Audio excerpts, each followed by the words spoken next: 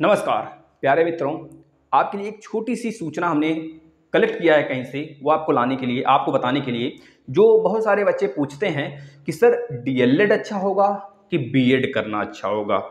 DElEd के लिए क्या प्रोसेस है? इसके लिए हम एक वीडियो बनाएँगे, चारों साल का जितना सब्जेक्ट जितना आपका सब्जेक्ट है, सबका एक में वीडियो बनाएँगे, जो आप देख पाएँगे, इसके बाद आएगा वो वीडियो लेकिन यहाँ पर बच्चों का यह कन्फ्यूज़न है कि सर डीएलएड करना अच्छा होगा कि बीएड करना अच्छा होगा?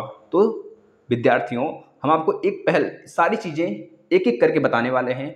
आप ध्यान से सुनेंगे। इससे पहले आप इस वीडियो में आगे बढ़ें। हम और आप आगे बढ़ें।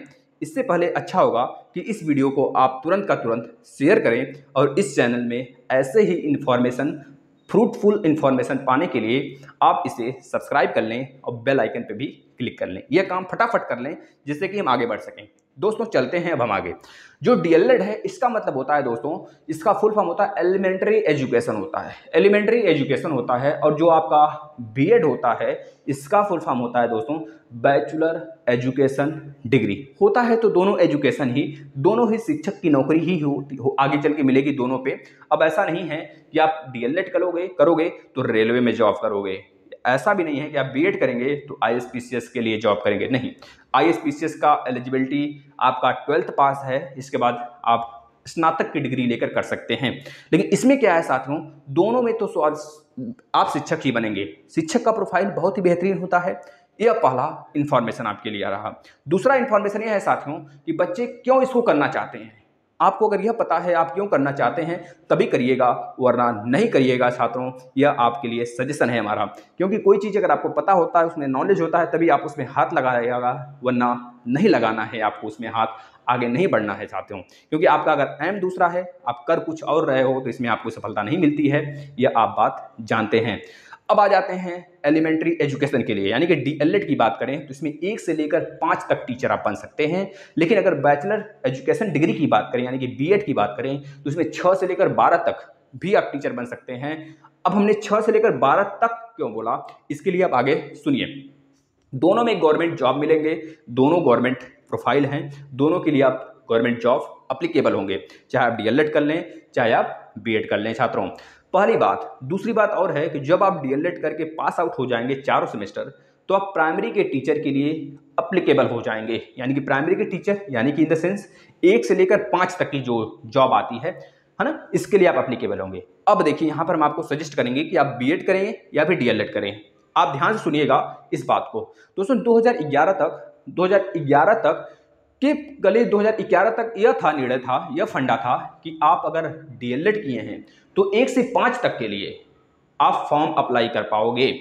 एक से पाँच तक के लिए, यानी प्राइमरी लेवल के लिए जो टीचर की वैकेंसी आती है, जो एक तरह से बल्क में आती है, काफ़ी ज़्यादा आती है, बल्क में आती है और बहुत ज़्यादा प्रशिक्षु डीएलएड करते हैं और डीएलएड वाले काफ़ी मात्रा में उसमें अप्लाई करते हैं छात्रों, क्योंकि उनकी एक आस होती है आस यह होती है कि डीएलएड कर लेंगे तो हमारी जो प्राइमरी की वैकेंसी आएगी, वह उसमें हम लोग अपना अप्लीकेबल हो जाएँगे अप्लाई कर सकेंगे। और इस वजह से प्रशिक्षु चार साल, यानी सॉरी दो साल, यानी कि चार सेमेस्टर तक वो अपना एग्ज़ाम देते हैं और फाइनली वो टेट सी टेट देकर इसमें बैठने का इंतज़ार करते हैं, जैसे कि कुछ विद्यार्थी कर रहे हैं अभी।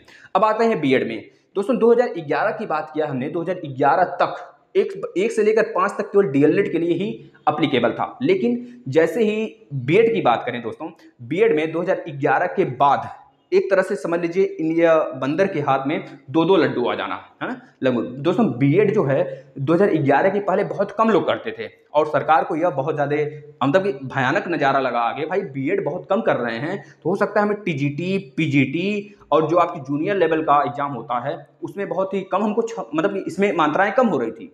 वैकेंसी कंपेयर टू जो आपका प्राइमरी लेवल का होता है उससे कम ही होता है उसमें। जैसे टीजीटी हो गया पीजीटी हो गया और आपका जूनियर लेवल हो गया। इसमें वैकेंसी नाम मात्र का आता है। नाम मात्र का मतलब कि कह लीजिए कंपेयर टू अगर करेंगे प्राइमरी लेवल का तो इसमें कम आता है वैकेंसी इस वजह से जो बीएड करने का मूड भी बनाते थे, वो बीएड ना करके डीएलएड करते थे, क्योंकि इसमें सिक्सटी हुआ, लगभग अस्सी हुआ, पचास हुआ, इस तरह की वैकेंसी आती है। तो बच्चे इस तरह से, इस तरह बी से मूव कर गए किसमें डी में। लेकिन 2011 के बाद दोस्तों, बहुत ही फंडा मतलब कि इन बी वालों के हाथ में दो दो लड्डू, दोनों हाथ में लड्डू आ गया। अब इनको तो प्राइमरी के लिए भी अप्लीकेबल हो गए। और दोस्तों टीजीटी पीजीटी प्लस जूनियर जितने भी एग्ज़ाम्स होते हैं टीचर्स के लिए, जब आप बीएड कर लोगे तो अप्लीकेबल हो जाओगे। अब आप यहाँ पे समझ गए होंगे कि हमें डीएलएड करना चाहिए कि बीएड करना चाहिए साथियों। साथियों, आपको बीएड करना चाहिए ये हमारा सजेशन है। जब आप बीएड करोगे, तब भी वही सारे जॉब दे पाओगे जो आप डीएलएड करोगे। डीएलएड में एक आपको चांस नहीं मिलेगा, सिर्फ़ और सिर्फ़ आपको एक से पाँच तक ही अप्लीकेबल होगे छात्रों क्योंकि जब आप डीएलएड कर लोगे तो आप केवल टेट और सी टेट लेवल के ही अप्लीकेबल एग्ज़ाम दे सकते हो। लेकिन आप टीजीटी पीजीटी ये सब एग्ज़ाम नहीं दे सकते साथियों। क्यों? क्योंकि आपने डीएलएड किया है एलिमेंट्री एजुकेशन किया है। एलिमेंट्री एजुकेशन का मतलब होता है डिप्लोमा जो कि ट्वेल्थ के बाद होता है। उसमें आप अगर स्नातक कर लिए तो टेट सी टेट देकर प्राइमरी लेवल में बैठ सकते हैं। लेकिन बीएड में ऐसा नहीं होता है साथियों। बीएड में क्या होता है? सारी संरचना हमने बताई। अगर आपको करना होगा बीएड और डीएलएड में तो आप बीएड को चूज़ करेंगे और बीएड करना उचित होता है। यह हम आपको बता देते हैं साथियों। बीएड सभी लोग करेंगे। हम यह नहीं कहते हैं कि अगर आप एक से पाँच तक के लिए ही केवल टीचर बनना चाहते हैं तो आप डीएलएड न करें। आप डीएलएड बेशक करें, लेकिन अगर आप बी कर लेते हो तो आप एक से पाँच तक तो एलिजिबल हो गए ही प्लस उसके ऊपर छः से बारह तक भी, और plus TGT PGT junior level सब कुछ के लिए एलिजिबल हो जाओगे साथियों, जितने भी वैकेंसी आती है टीचर में। तब आपके ऊपर है। आप डिसाइड करोगे क्या करना है आपको। टी की बी साथियों। अगर साथियों आपको यह सेशन समझ में आया हो, यह वीडियो आपके लिए उचित हो, लाभदायक हो तो आप इसे ज़्यादा से ज़्यादा लोगों को शेयर करिए। और यह क्वेश्चन हमसे, हमारे विद्यार्थी ने ही पूछा था, जिसके कारण यह वीडियो हमें बनानी पड़ी। तो आप लोग इसे शेयर करिए और अपनी संख्या बढ़ाइए। और ऐसे ही वीडियो पाने के लिए नीचे बेल आइकन पे क्लिक ज़रूर करिएगा और जो रेड कलर का लिखा होगा सब्सक्राइब तो सब्सक्राइब भी ज़रूर करेंगे साथियों। नमस्कार।